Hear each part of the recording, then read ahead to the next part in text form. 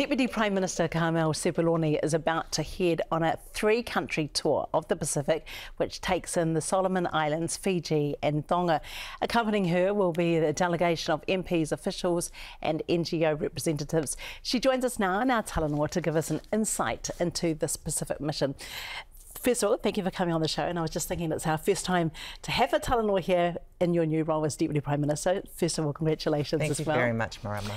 And this this this trip, I mean, I was just thinking it's, it's a it's a, a whistle stop trip. Really, it's very quick. Why is it so important, though? It's so important for a number of reasons. Uh, of course, reconnecting, because we haven't had an opportunity to do this because of COVID for some time. Uh, also, just focusing on resilience of our Pacific region. We have so many shared challenges that are not unique to one country, and we need to have shared solutions and approaches to how we're going to respond to those. And then just the partnership.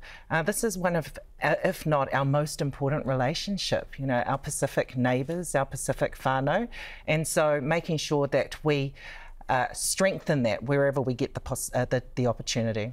What will be some of your priorities when you touch down, for example? Where will you be touching down first? Will that be in in Tonga? No, we're starting in Solomons okay. and then we'll be moving to Fiji and then we'll be ending in Tonga. Okay, and what are your specific priorities within each nation? Well, certainly there are a range of challenges, as I've said, that we all face, and so we will be discussing them across the course of the trip with all of the countries. Climate change is front of mind for all of us as a Pacific region, uh, but also economic sustainability, cost of living pressures, and global inflation is, is not something that's unique to New Zealand. Our Pacific neighbours are feeling the pressures there too. Uh, labour mobility may be an issue that comes up again, and so there'll be a range of things that we're discussing in all three of those countries.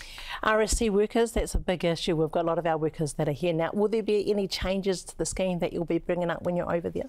Um, certainly no changes, but the Pacific nations are aware that we've been reviewing the scheme from our end to make sure that it's the very best it can be. A couple of our Pacific neighbours have been reviewing the program as well to make sure that it is working for them.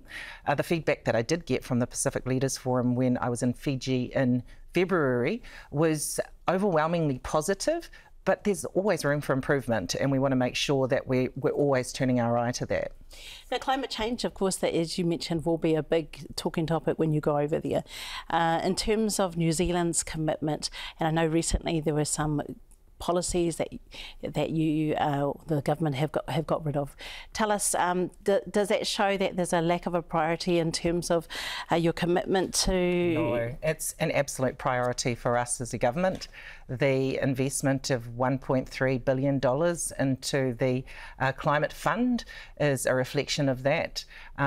Over 50% of that is dedicated to Pacific nations, and we continue to work with each Pacific nation uh, so that they can determine what the priorities are for them with respect to climate change so that that money can be utilised in a way that works for our Pacific nations. Getting rid of uh, schemes like, for instance, the Clean Car Upgrade Scheme, in, in terms of, you know, have conceded to prioritise uh, the cost of living issues, was that to doing that and to, win the election? Is, is, was that the reason? No, certainly not. There's still a lot going on with respect to climate change.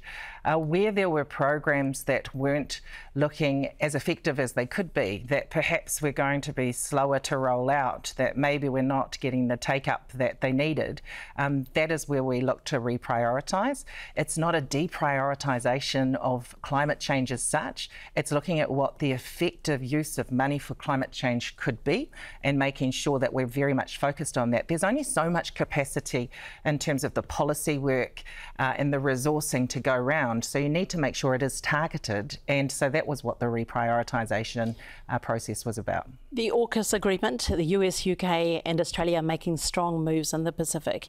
And the Pacific elders, the former prime ministers and, P- and PMs of the Pacific, have spoken out that they're not happy about this. Can you give a 100% commitment that New Zealand will not be joining that agreement in any shape or form? Oh, look, the intensification of the geostrategic uh, competition in the region is a reality for, for all of us. I have to say that when I was uh, with the Pacific leaders in February, it wasn't, AUKUS was not the issue that was being raised.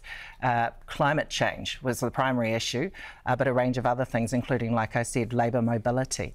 Um, we are committed to working uh, with our Pacific partners uh, and with all of our allies to ensure that our Pacific region is safe and secure, uh, and that will continue to be our focus. We certainly have no intention uh, of anything that runs against our our international or regional obligations, and so um, we're really clear where we stand. Minister, thank you very much for joining us on the program. We thank appreciate you it. so much.